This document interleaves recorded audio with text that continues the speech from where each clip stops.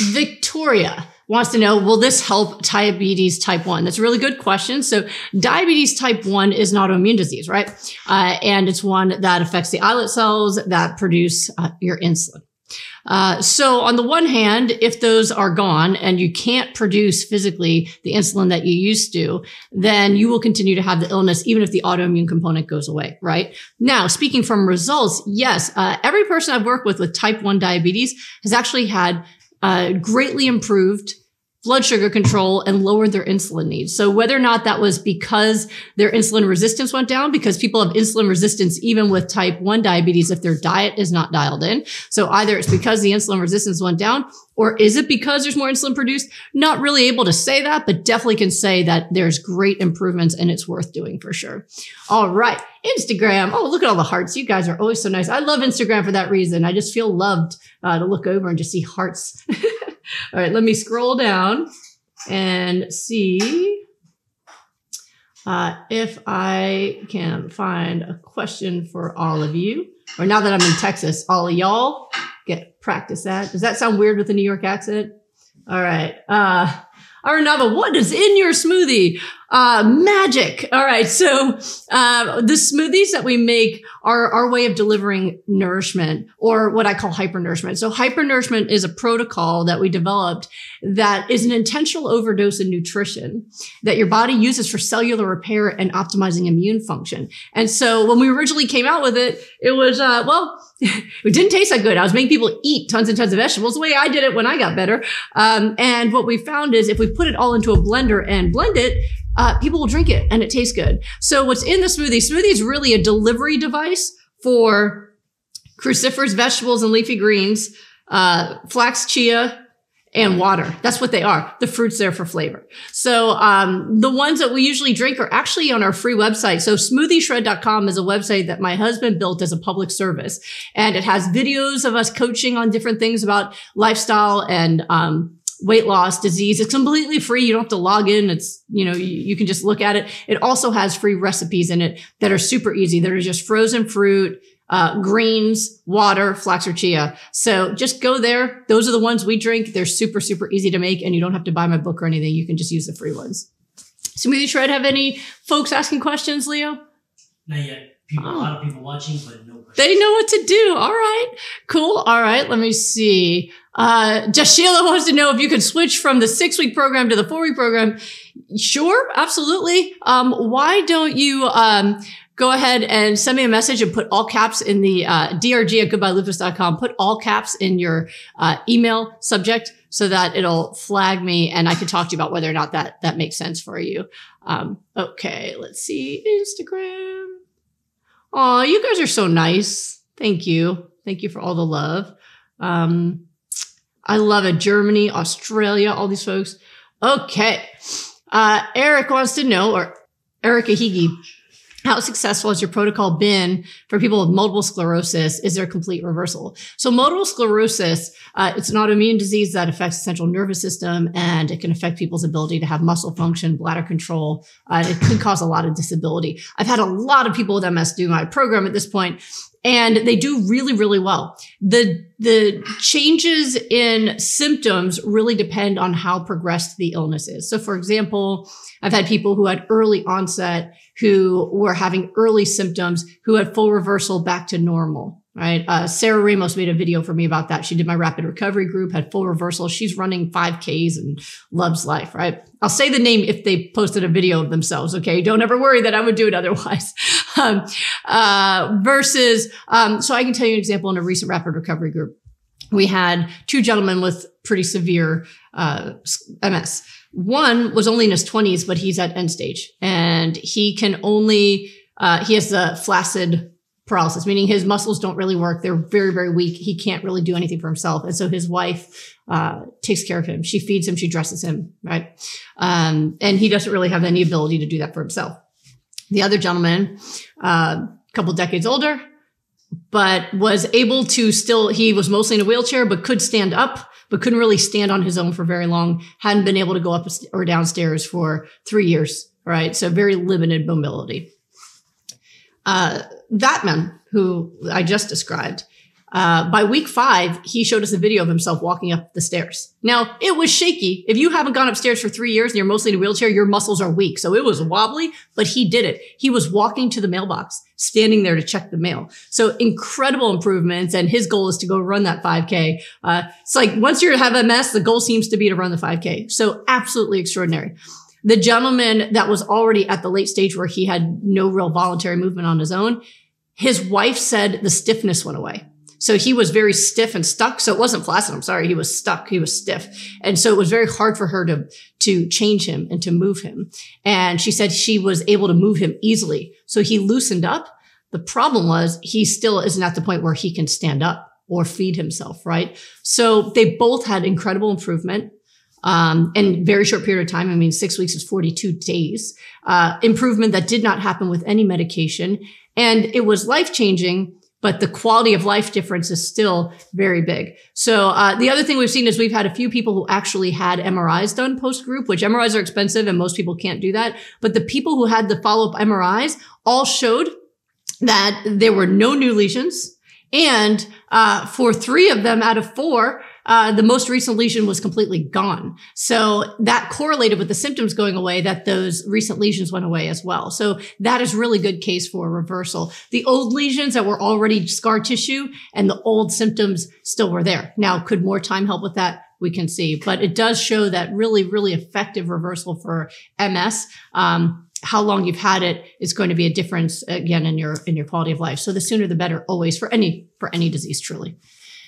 So you should have anything? So we got one Okay. um, question. How do I heal from diverticulitis?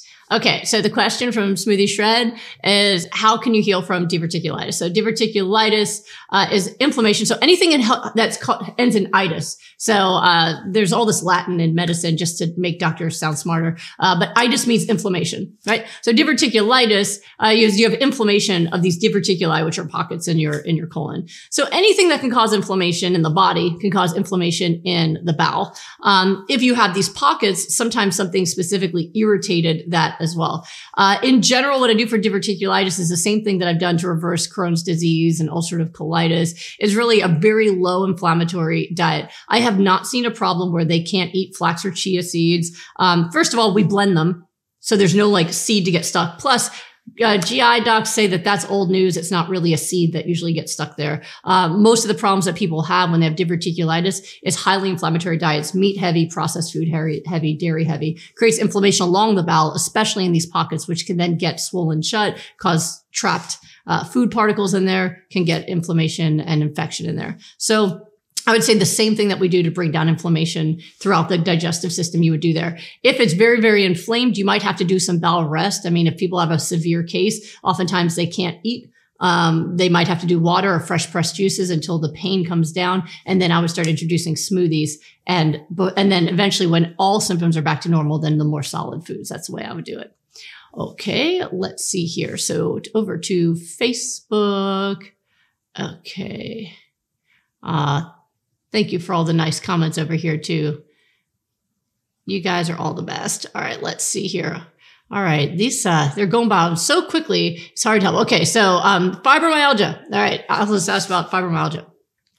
So fibromyalgia is a really interesting disease because there's arguments about it, right? So fibromyalgia is a syndrome of people that have uh, pain and depression or anxiety. They're linked together. So it is a disease of inflammation and emotional uh, duress or stress. So those things are and cause and effect, right? So um, it is believed currently that it is the depression, anxiety, or trauma that then causes the pain syndrome. So those are married together. And as those of you who've been watching me know, uh, when you have high stress, high emotional emotional distress, it causes inflammation, which then causes pain. So it's real pain, right? It's not made up in any way.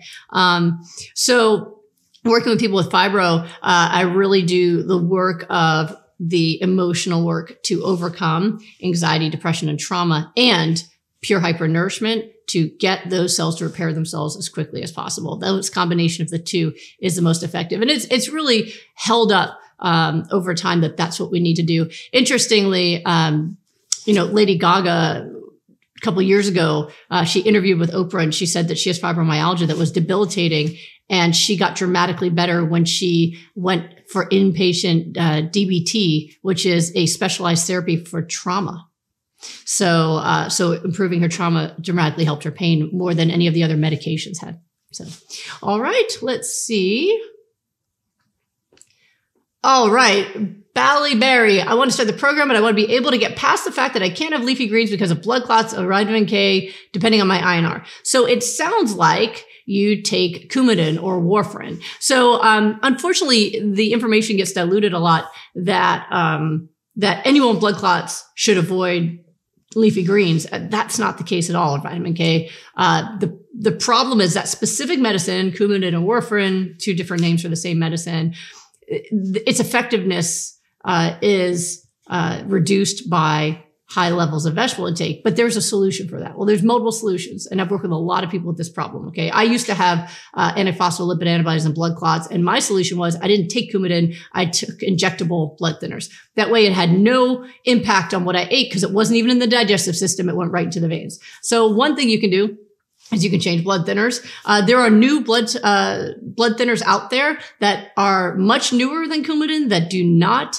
have any dietary restriction at all. A lot of doctors are reticent or hesitant to use them because they're used to Coumadin.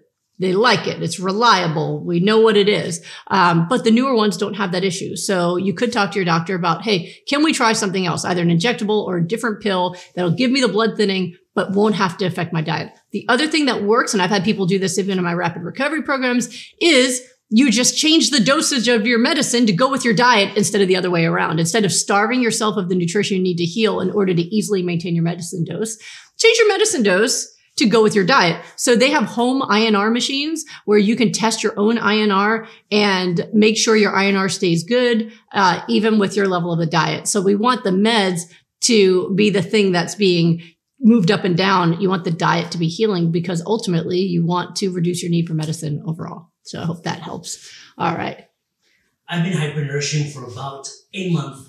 I have been diagnosed with breast cancer, and the radiation doctor says I need to eliminate omega 3s during and post uh, radiation. Is this true? I have never heard that before. So the question from Smoothie Shred is somebody with breast cancer, her, the, her doctor told her that if she's getting radiation, she should never eat omega 3s uh, for the treatments. That's a new one. I've heard a lot of really crazy things. One of them was um, that I've heard multiple times, which really is scary, is that people with cancer getting treatment shouldn't eat any healthy foods because it'll make the cancer stronger. No, you need your immune system stronger so it can fight back against the cancer, right? So, um, I don't know if they gave you an explanation for why, but absolutely not. I mean, we've had people do extremely well using our program uh, with their treatments um, for remissions, and even people in our groups who've had markers come down even just with nutrition alone. We've also had people who've done rapid recovery with us to recover from the side effects of chemotherapy and radiation, like neuropathies and chronic fatigue and brain fog. So I think if you can do hypernourishment while getting those treatments, that's the best thing you can do. He'd have to really give me an explanation that was based in some real science and results. And I have a feeling he won't be able to do that. So that is really strange. I hope that you are on the full plan and I hope you're feeling better. So please let us know uh, how you're doing. Okay. Uh, Facebook. All right. Let's see. Um, okay. Hi, doctor. This is from Sarah. I have lupus, Sjogren's, uh, vasculitis and chronic inflammatory demyelinating polyneuropathy, uh, which took away my ability to walk. I'm learning to walk again. Can this help me? Goodness, you are a great example of the fact that autoimmune disease tends to just grow new branches, right? You get one and then suddenly you got all, all these other ones. Uh, I remember those days very well. Um, yeah, so we had somebody We've had two people now with CIDP uh, do our rapid recovery group for it, and we're able to not only walk but run again. Uh, it was absolutely great. There was one gentleman who did our group. Um, gosh, I got to get him to make a video. Uh, when I first met him for a wellness appointment, he literally had to crawl on his hands and knees into the kitchen to make smoothies for himself. Um, he got so much better doing it that way. He decided to join the group to get the fastest possible result. And by the end of the six weeks, he was literally running uh, it's been an extraordinary gift for him and his whole family, especially being a dad. Uh, so all of your illnesses, this is the path. And realize that the reason for that is because our protocols are not specific for diseases. They're specific for cellular repair and immune function. So that helps you with any of those illnesses, whether it's going to be cancer or diabetes or autoimmune diseases. Uh, you want your body's ability to repair itself to be optimized. So that's exactly what you do. And I hope you're feeling better really soon. I'm glad to hear that you're walking again or learning to walk again. All right. Let's see. All right, Ashley Christina, do the smoothies help during cold flu COVID season? I can't take immune boosters with MS. Yes, yes, it does. Um, I don't know if you saw, but uh, gosh, it was some months ago. When did I post that video, Leo, with the COVID and the flu? That was maybe it was over the. It couldn't have been over the summer. Maybe it's been a couple months. I don't know. Uh, they did a study actually at John Hopkins where where they uh, the, the, same people who did the study that proved that cruciferous vegetables kill cancer cells in a petri dish, uh, which is great information for cancer. Remember, um, they also just did a study that proved that uh, that cruciferous vegetables prevent the uh, the mRNA in the flu virus and the COVID virus from replicating. It decreases replication by 50, 50 percent cuts the replication in half. What does that mean for you? If the DNA can't, re- if the virus can't replicate itself as quickly, that gives your immune system more time to kill it. It gives your immune system time to catch up. So, uh, whether it's COVID or the flu, uh, hypernourishment is going to keep your immune system really, really strong because what do we do in hypernourishment? We're overdosing in those cruciferous vegetables as well as the omega threes uh, and the water intake your body needs to op- uh, to function optimally. So that is a really great thing to do in addition to helping your MS. Smooth Shred. Saw online that L carnitine can help with PCOS. With uh, what are your feelings about supplements like this? I don't have feelings. I only speak from results. So I have not used L-carnitine to treat that or to get results in it. So I won't comment on it. I never comment on things that I just read. Uh, I only comment on things that I've tested and seen results in. Uh, but we have had people do extremely well with PCOS in our uh, in our program. I mean, we've had some people do testimonial videos about that as well, who've had extremely great recoveries uh, in symptoms from PCOS. So make sure you're doing that. That I can tell you works.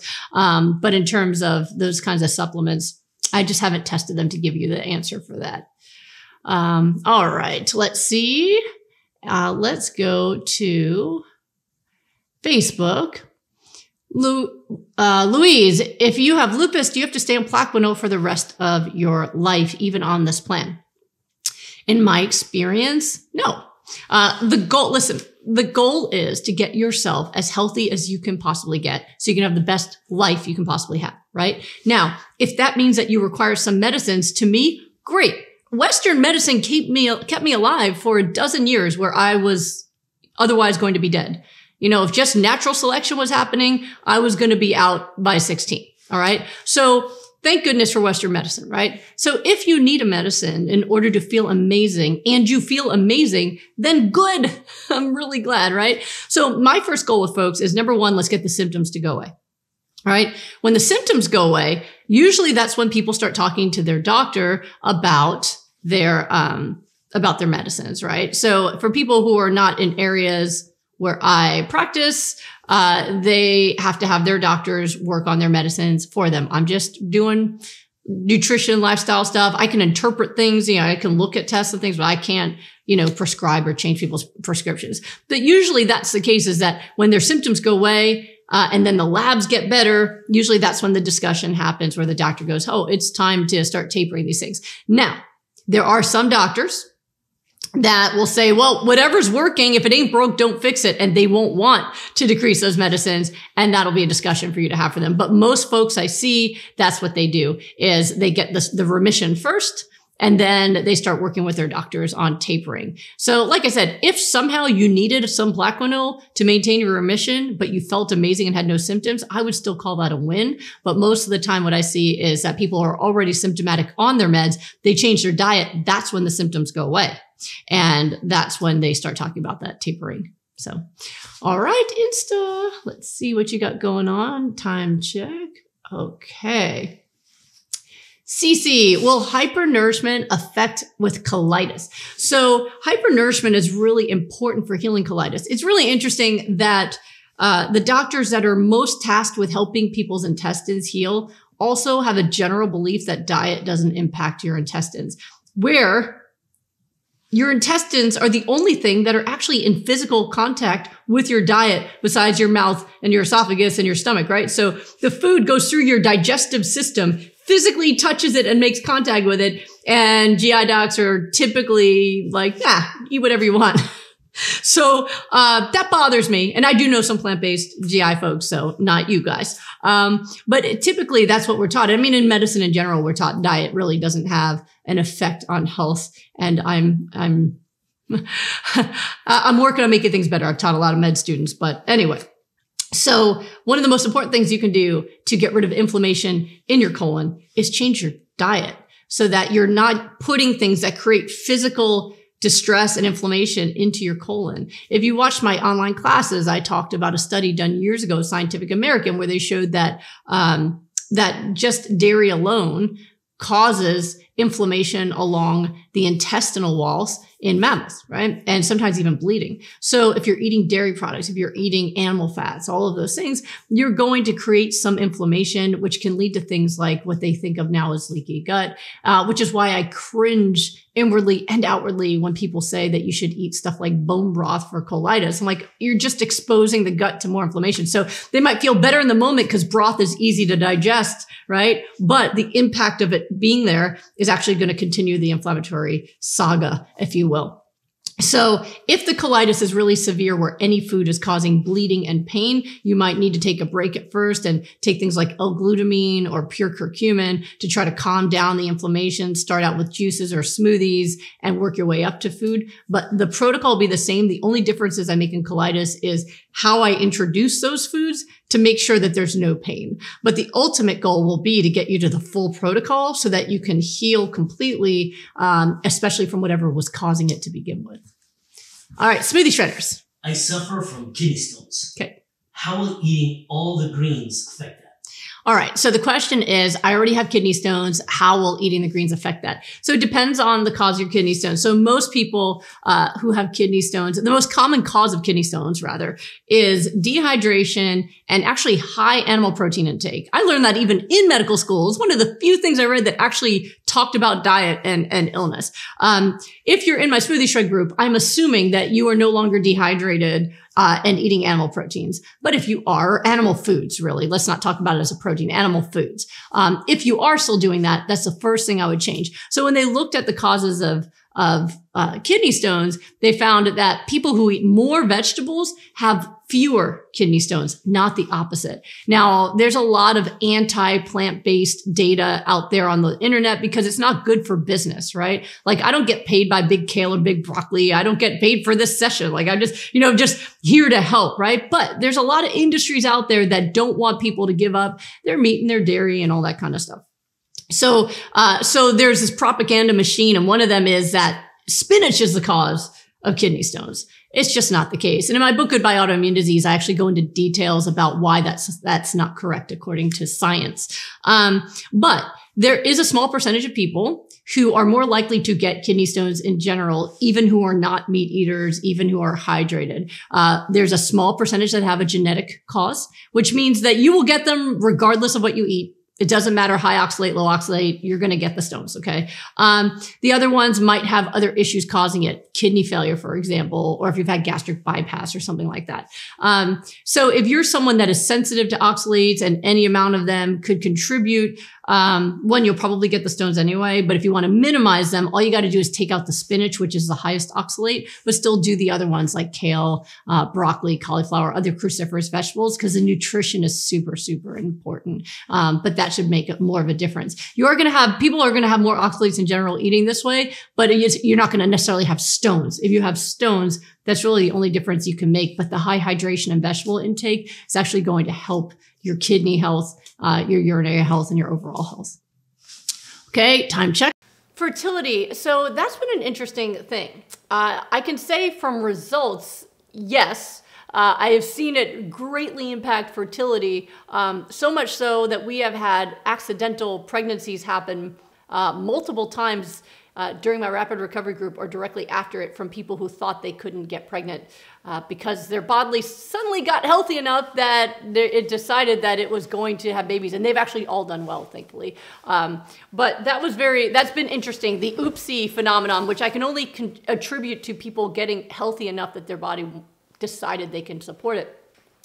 Um, but what we've seen is that uh, in, in always, again, hypernourishment is specific to cellular repair. So when you're eating in a way that optimizes cellular repair, it's going to go through your whole bloodstream, and then your body decides, you know, where you need it most, right? So, for example, if you've got uh, if you've got a problem in your kidney, if you've got a problem in your ovary, if you've got a problem in your thyroid, your body's going to decide where the repair work needs to be. So I've seen endometriosis go away completely when someone needed to have surgery. I've seen uh, ovarian cysts go away. I've seen an ovarian tumor go away from a doctor who did my first rapid recovery group in 2017. She had a tumor that she was supposed to get surgery on that disappeared after the six weeks.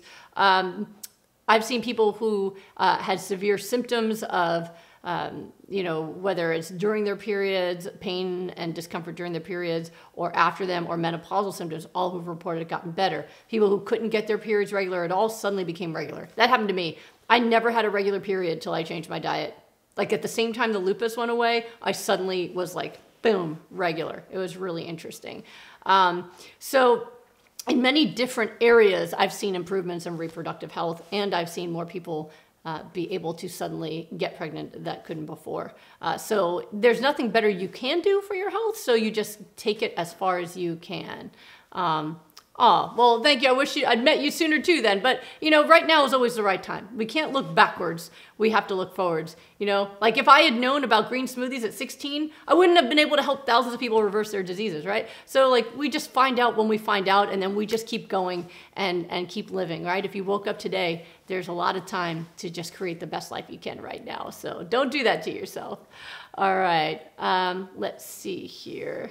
Oh, I love this. Irma just said, Yes, do this protocol. Dr. G has finally figured it out. You have nothing to lose and everything to gain. I wish I knew when I was diagnosed with lupus and mixed connective tissue disease in my 30s. I'm 68 now and finally healthy. That's what I'm talking about, and that's what I love doing this. Um, and I love being being here with all you guys um, because one, I can help support you and teach you, but two, you support and inspire each other. So it's pretty cool. All right, uh, let's see what Instagram's asking me. All right, so S. Lily wants to know, is it possible to reverse Hashimoto's disease? And are there any vegetables or grains that you have to avoid? I follow whole food plant-based diet, no oil. Uh, yes, I actually have great results in reversing Hashimoto's. It, it's the most common autoimmune disease people have. It's just not treated as an autoimmune disease. And the reason for that in Western medicine is very simple. It's because in Western medicine, the thyroid is considered disposable, right? Uh, you can replace it with a pill. So you're not going to put someone with Hashimoto's on a whole regimen of immunosuppression and steroids and all the side effects that come with that when you can just let the disease run its course and replace it with a pill, right? Now, the problem with that is you have unchecked autoimmune disease, which will eventually cause more things like arthritis and other issues. So, many people I see who have new onset of autoimmune disease, rheumatoid arthritis, lupus, scleroderma, Sjogren's, they actually had Hashimoto's diagnosed a decade or more ago and then just never thought of the, they never thought of themselves as having autoimmune disease when they did. All right. So, um, so it is autoimmune, which means my protocol works. The goodbye autoimmune disease protocol works really, really well. And yes, cruciferous vegetables are good for thyroid healing. That's why it goes away. And we can track it going away. What I recommend you do is you get your thyroid markers, your antibodies checked, not just your TSH and all that, but the antibodies. Because as you heal, those antibodies will die off because your antibodies have a lifespan. So as you get better, the antibodies die off. And when the antibodies are gone, you can say goodbye Hashimoto's. Then you'll find out how much thyroid you have left. Your thyroid will heal as much as it can. And some people continue to need some thyroid hormone because it's old damage, it's scar tissue. Scar tissue is dead. It's just not gonna, there's no glands, right? Uh, but most people find that they can reduce their thyroid hormone because they had inflamed tissue that actually improved.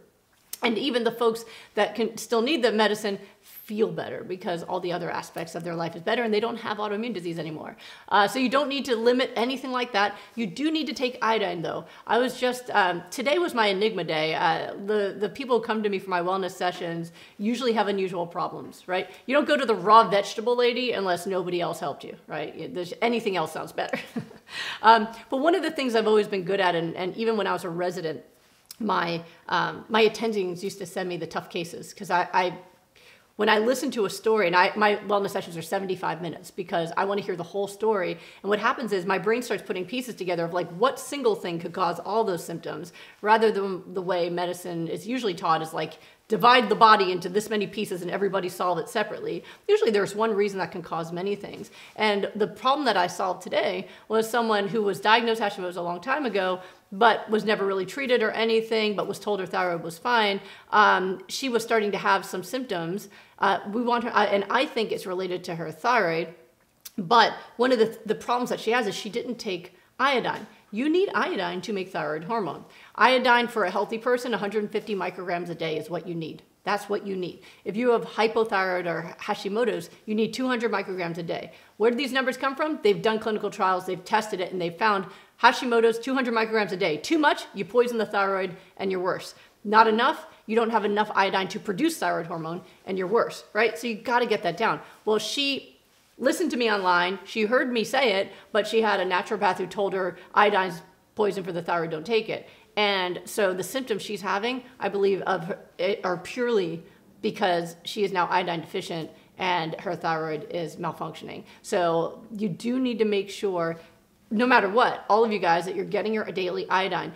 It's so important for the thyroid and brain function that the US government many decades ago put it into table salt because everybody used salt and it was an easy way to get somebody the supplement that we all need. There are areas in the world where people have serious illness in their brains or thyroids because they are iodine depleted. So the problem is nowadays a lot of people have switched over and they're not using iodized salt.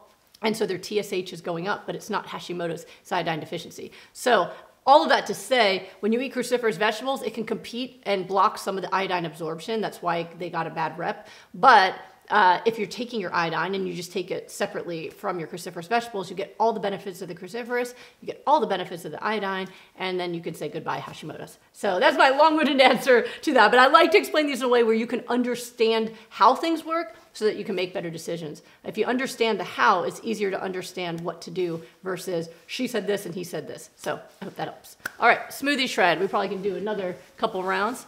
Found out that I'm intolerant to chia and flax seeds how would somebody go about getting omega 3s with their bodies having reactions to those seeds?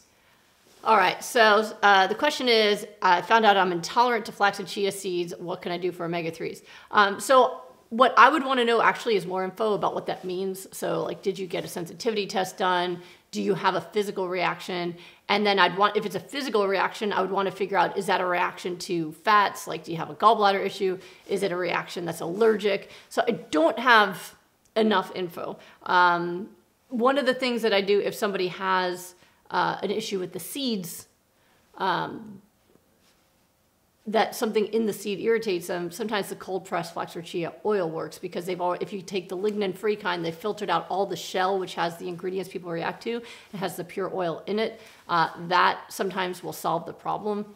Um, if not, there are other things out there. I just haven't tested them with my programs. So, for example, you can buy algae oil, but you have to be really careful with algae oil because they often will uh, they they dilute it uh, or dissolve it into sunflower oil or safflower oil, which are high omega six oils, and that's going to get you're going to lose the effect of getting more omega three. So, if you find one that's maybe in coconut oil or olive oil, that could do it, but the dosages are usually pretty small.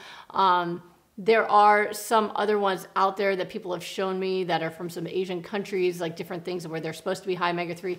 I just haven't tested them. So, um, so that's where I would start with you, but mostly I would need more information to figure out what the issue actually is to see if there's some other way that we can find around it. So, um, all right, let me see here. Facebook. Oh, Beverly, I'm almost healed for your protocol. Yay! I'm so happy. I'm so happy. You guys all share this with each other because people need to hear it.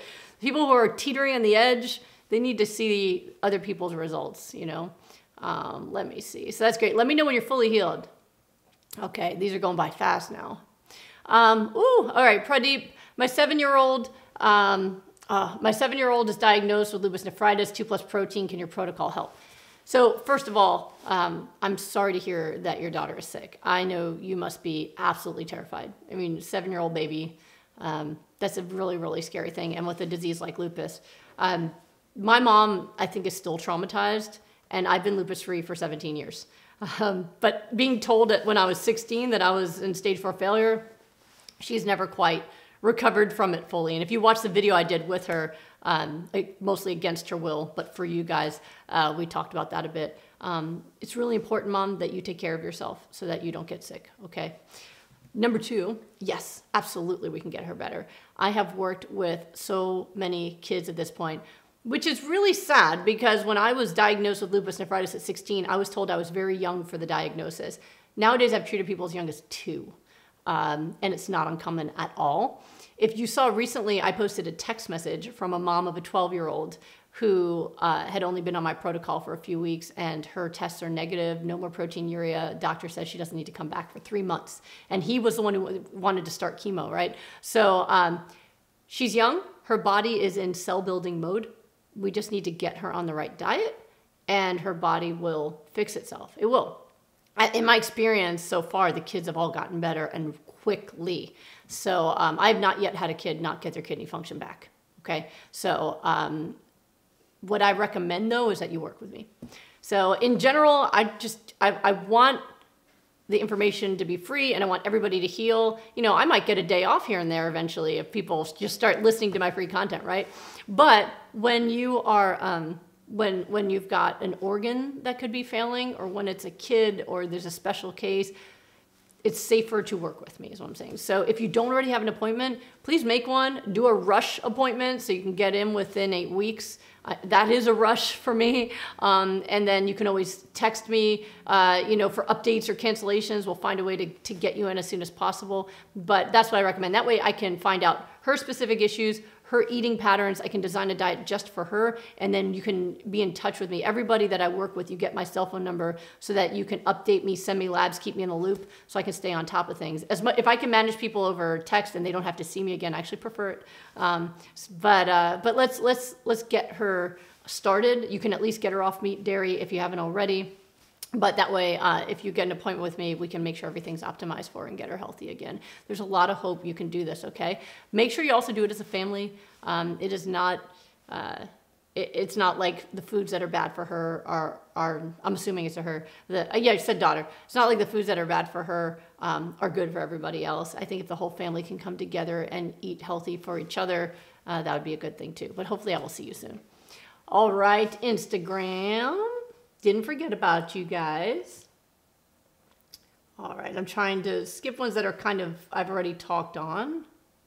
Um, Liza HB, can you have your homemade ranch dressing on the rapid recovery? If you're talking about my Caesar, uh, yes, but what you do is you would replace the almonds with avocado.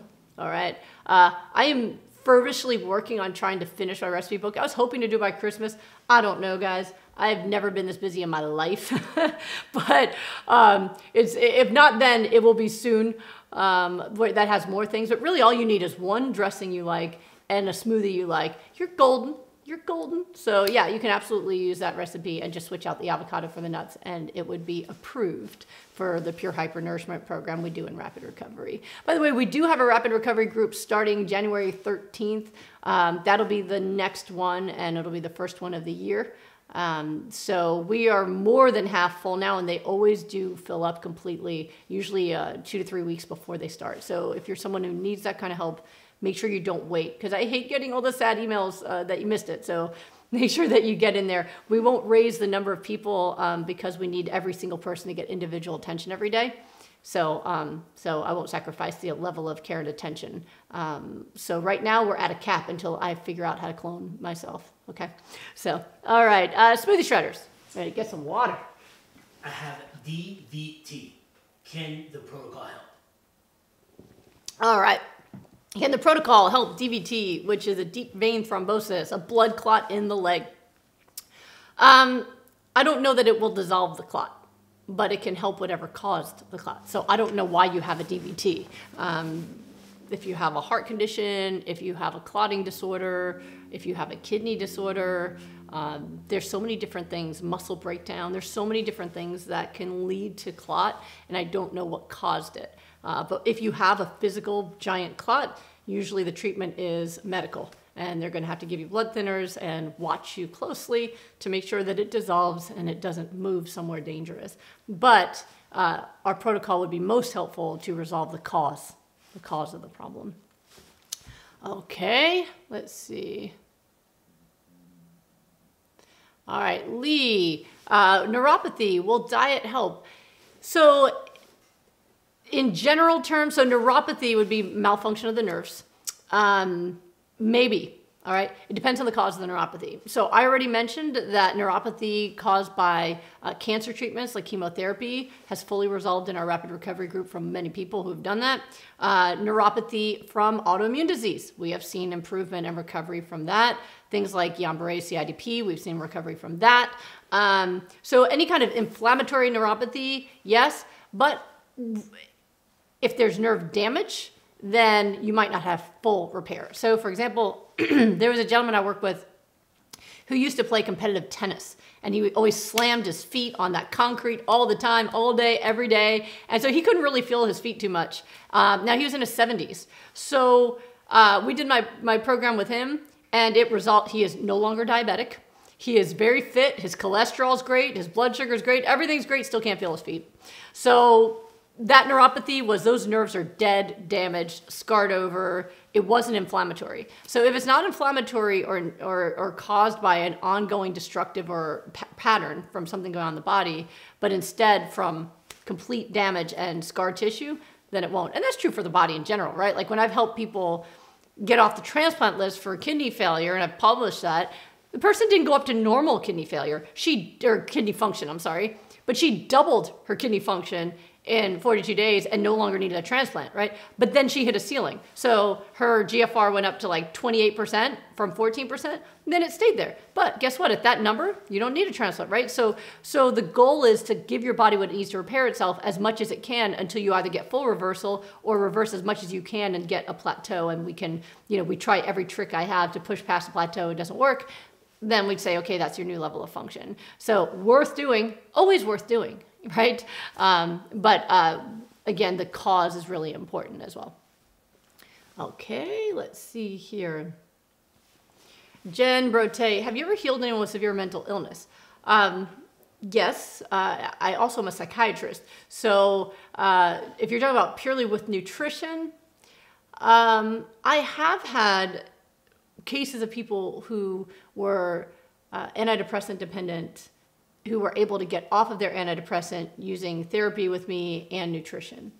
Uh, what you what goes into your mouth, you've got this neck that what gets into your bloodstream is going to affect your brain function as well. People who are malnourished, undernourished, poorly nourished, or inflammatory food eating, they're going to have more more mental illness. They're going to have more problems, more depression, more attention problems, uh, but also more psychosis.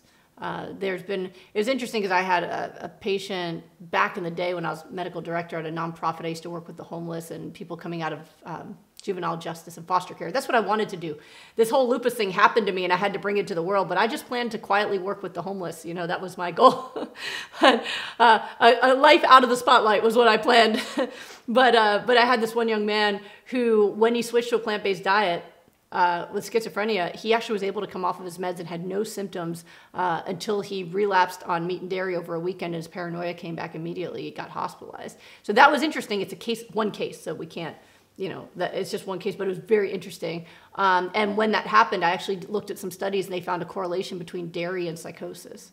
So you know, there's definitely a connection, and I've seen huge improvement. Uh, ADHD and mood disorders, high omega 3, very, very effective, as well as avoiding processed food, high nutrition intake through hypernourishment. So it definitely is helpful in in uh, mental illness. I don't know that it's a one stop cure without the other interventions.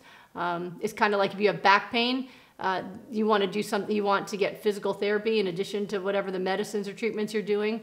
So with emotional, uh, diseases and mental diseases, often we need to still work through triggers and traumas and problems, but nutrition definitely supports it. And I've seen huge, huge improvements, especially in things like uh, childhood ADHD and, and mood disorders. In kids that switch to plant-based eating with high nourishment huge huge changes compared to when they were eating you know lots of fast foods and junky foods beforehand. So let's see the time. All right. Okay. Is smoothie shred is depression inflammatory? is depression inflammatory so really good question current studies indicate that yes uh, people with depression have high inflammation whether or not depression causes inflammation or inflation or inflammation causes depression, chicken or the egg, uh, they're connected for sure. Uh, there was one study that I read where they were so compelled by how much inflammation they found in depressed patients that one of the things that they offered in the discussion was maybe you should give prednisone to depressed people, which don't know, right? We got to talk to them. We can help people through depression. There's things we can do. But it was very, uh, for me, you know, I really internalize that in my work because what I see in folks is people with depression and anxiety, nutrition alone is not enough. I need to do nutrition and help them overcome their uh, their habits and their thoughts that hold them back from happiness. So I incorporate all I know about healing people from depression anxiety in my programs um, because that makes a big difference in their ability to recover. So people with depression also, we've known for many, many years, uh, they experience more pain and more illness in general. Whether or not that's depression is, whether that's um, inflammation mediated or whether it's because depression makes people focus more on the things that hurt them not clear but probably inflammation is, is a big part of that as well and why we have diseases like fibromyalgia which are inflammatory diseases uh, in people who have depression anxiety and pain so absolutely there's a connection there all right let's um, uh, facebook okay thank you Vajnam. let me see um, Amanda, does seafood cause the same amount of inflammation as, uh, oh, it just disappeared, but I'm guessing as other meats? So that is an interesting question. So I don't know who does the PR for seafood, but they must be really, really good um, because seafood has long held this reputation that they are the healthy meat. Uh, and I have seen people uh, multiple times now who switched from meat, uh, land animals to sea animals and ended up with mercury poisoning. Uh, I've seen at least two I can think of in the past year. Uh, so uh, that's one problem. But no, they are not uh, less inflammatory at this point. Um, so one is they have other fats in them. There's some saturated fat. There's some. There's a lot of omega six fats, especially in the farmed ones, which are most of them now. So the farmed fish uh, are grown together. Grown. They are captured and and and imprisoned in small areas where they are so close together they get very sick and they share a lot of diseases. They feed them cheap stuff that's not their natural food so they don't produce the omega-3 they normally would and they have um, and they have all these diseases in them as well. Uh, so those are the worst out there. Uh, but even when they did study years ago where the fda was looking at fish from all over the world and testing um, testing levels of toxins in them. They found that there's a huge level of PCBs or environmental pollution from all of the industries we have all over the world that are in uh, fish fats because all that industrial pollution goes into the atmosphere, it rains down into the ocean and it's absorbed into the fish and it stays there. So when you're eating seafood, you're getting potentially illnesses and parasites and things from them being farmed. Even if they're free range, they're going to have high levels of the environmental pollution in their fats. Um, and there's a mercury issue. So there's a lot of reasons to avoid them in general. Plus, omega 3s are very sensitive to oxidation by air or heat. So if you're cooking fish, you are not getting the benefits of the omega 3. But if you don't cook them, then you could be getting the parasites. So I'm not a fan uh, of using fish at all. Uh, the most recent study that I found interesting was actually the study that they did. Uh, it was in the British Medical Journal looking at uh, the, the rates of moderate to severe COVID in people who were plant based versus pescatarian versus high protein, low carb, keto, paleo type folks uh, who were frontline workers, doctors, and nurses on the front line dealing with COVID. In the early onset of COVID, before we had any treatments, this was in the days of the respirators, and the morgue trucks out behind the hospital, the most terrifying phase of the pandemic, um, when doctors and nurses were really heroes uh, on the front lines treating folks, right? So they were looking at those folks and their rates of moderate to severe COVID and wh- what they ate, which I thought was brilliant. I mean, you don't hear about them doing that too much. And what they highlighted in the study, which was the biggest outcome, which was very interesting, was that people who were plant based and they didn't even ask them like what kind of vegan are you? Are you a junk food vegan? Are you a hyper nourishing vegan? Are you a no oil they didn't even differentiate. Just if you are on the vegan spectrum those folks had more than 70% lower cases of moderate to severe covid compared to everybody else. More than 70% lower, which was enormous, huge, right? The people who were the high protein, people who eat mostly meat, not very much uh, fruits or vegetables, those folks had almost a 50% higher rate of moderate to severe COVID. So 70% reduction versus 50% higher rate, right? So that's what they really focused on. And so when they were discussing it, they said, well, maybe the, the reason for this is because there's no nutrients in meat, which is true. Um, there's no vitamins, minerals, antioxidants, all the things that your immune system needs to fight back and what your cells need to recover, they're not in meat. So that is very true. But what they didn't address was the inflammatory component of adding any animal products to the diet, right? That meat itself is deleterious to the human body. And I thought the most telling evidence of that was the pescatarians because pescatarians, they eat a lot of plant foods. The only animal product they eat is fish, right? So no dairy, no eggs, tons of plants plus fish. So if the only issue was that the meat, the high meat eaters weren't getting enough nutrients, then the pescatarians would be as good as the plant eaters, right? That because they're getting all the nutrients.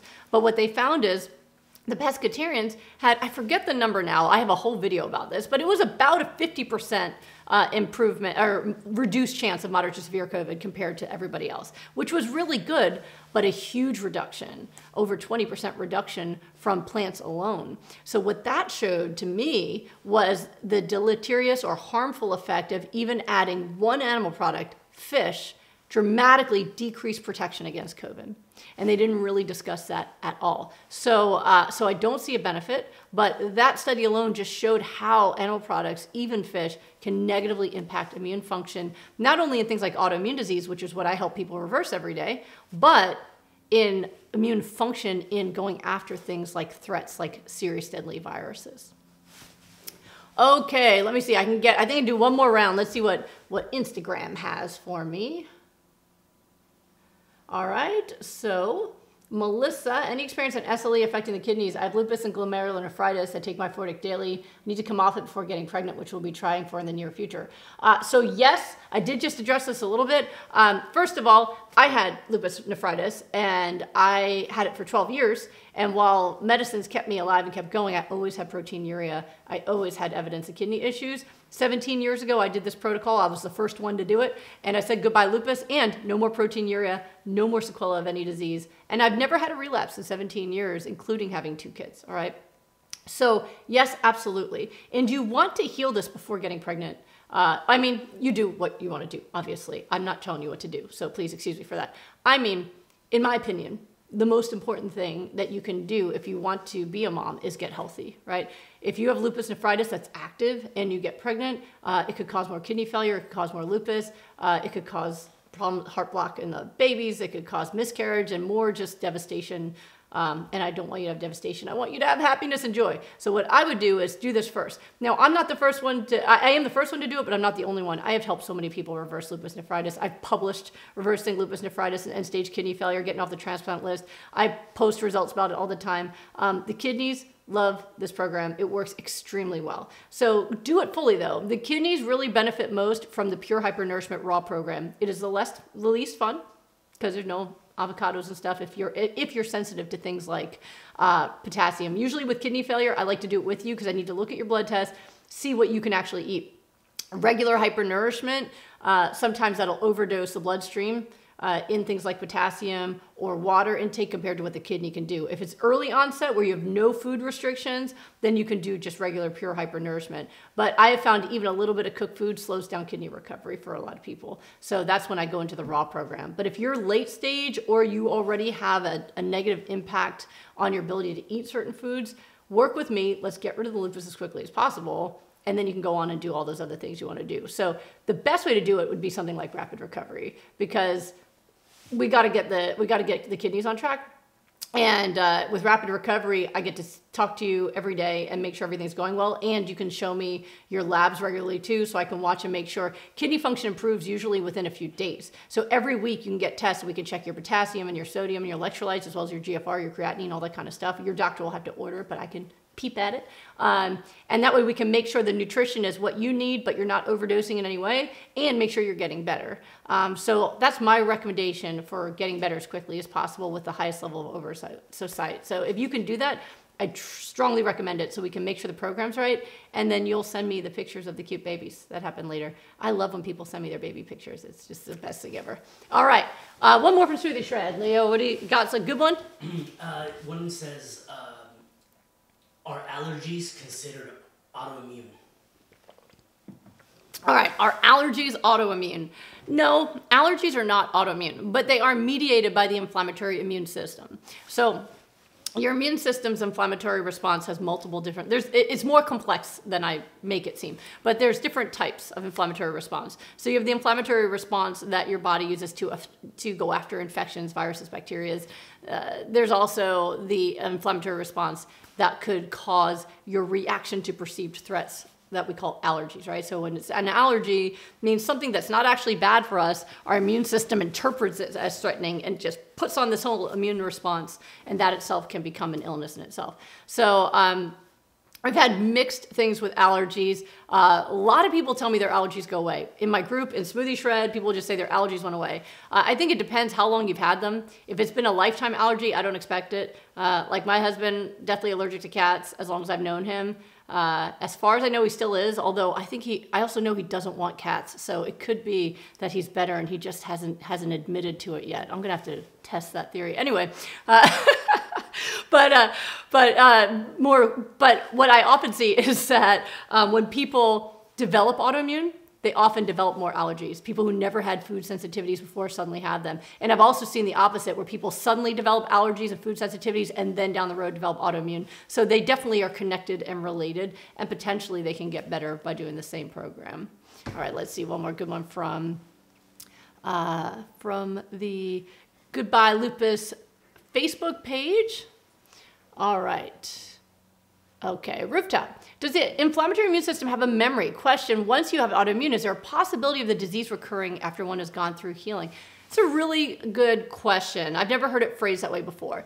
I would say the simplest answer would be yes, right? So once you've gotten sick, then you know that under the right circumstances, you know what disease you can develop, right? When people have cancer and they get a recurrence of illness, it's usually another cancer, right? When people uh, develop different kinds of heart issues, it's going to be another type of heart issue, high blood pressure, and then moving on to arrhythmia or other issues, right? Um, if you have autoimmune, that's your jam, right? So, like my body by 16, you know, arthritis, rashes, kidney failure, right? That, that's what my body will do if I take really bad care of it, right? Um, so, yes, you can definitely, you know what you're able to do, right? You know what your body will do if you mistreat it.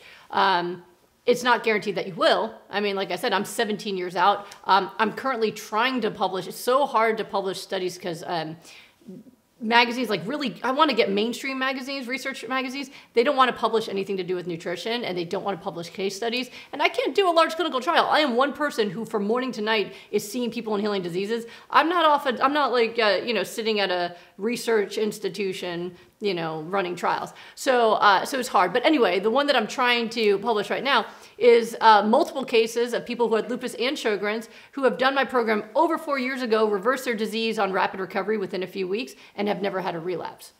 Right? So, uh, so if you follow the way I teach it, where you go from, you know, uh, where you do maintenance way I tell you to. Once you're in remission, your labs are negative, you have no symptoms, there's no reason it should ever get back. The people I see who regress are the ones who they get the remission and they feel great, and then they give up the antidote. I do not understand this. If you find the antidote to autoimmune disease and it happens to be a green smoothie, then you marry that. You keep it every day. I have my green smoothie every day. I will never give it up, right? Because it's my antidote. So even though I'm lupus free 17 years, I'm not, and it's been 30 years since I was diagnosed. I'm going to be 46 in February. Um, I'm not going to give up my antidote, right? So what happens is people give up the antidote, they cut back on eating fresh foods, and then they start introducing more inflammatory and processed stuff, and then they end up eating more and more of the processed stuff, sometimes even meat and dairy again, and then boom, they're back in the same boat. So um, you want to be really, really careful, and I don't recommend you introduce anything pro-inflammatory, even a processed food, until you've been symptom-free, normal for six months why mess with it? Just enjoy hypernourishment, cooked plant foods, and enjoy your health, right? Um, so it, it's kind of like if you um, if you're trying to heal uh, I've done a lot of videos about this, that healing is not like a light switch. You have to create enough disease in order to get a symptom. And then when you heal the disease, you can get to the point where you no longer have symptoms, but you still have this much disease left to go. So if you if you go back to your wrong eating, you can come right back over that threshold again. We want to get you all the way back down to zero again. All right, I got time. Uh, oh, I don't even have time, but I'll, I'll do one more and then I've got to go to my kid's school. He's doing a performance I got to see. All right. Um, my younger one is a singer and an actor. So uh, I want to see, I want to go see him. Um, okay. Let me see if there's anything that might be, um, okay. All right. Uh, try to pick something everyone can relate to. Osteoarthritis. So Kelly Bell, uh, can protocol help pains from severe osteoarthritis in hip or help me avoid surgery? So yes, um, we're not going to grow new padding and joints, all right? So if osteoarthritis, if you've worn off your joint paddings or if you don't have any, you're not going to grow a new one. But what my protocol will do is it will reduce the inflammation around the joints and hydration will fill in padding within the joints. People who are dehydrated have flat pads. If you get super hydrated, you can fill them in. So that can reduce pain and symptoms and inflammation, and that could potentially alleviate it enough that you don't need surgery. I've had many people who did rapid recovery with me for autoimmune, who by the way needed a new hip because they were told it was osteo, and within a couple weeks they didn't have that hip pain anymore. So it's definitely worth doing. Okay, so uh, that is uh, my hour. I will be doing this every week now. I want to make sure that I'm giving to you guys as much as possible.